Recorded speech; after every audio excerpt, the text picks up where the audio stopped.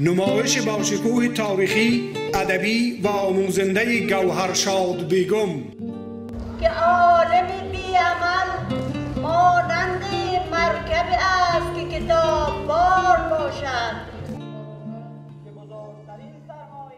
تا از علم استفاده ابزاری نکنند.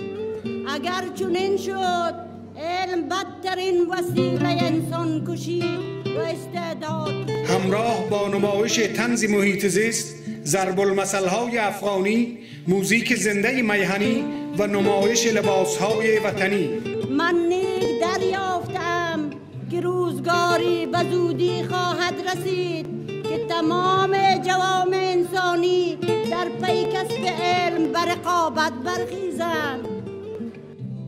هشتم جنوری 2012 در لندن به شما فرهنگ دوستان تقدیم می.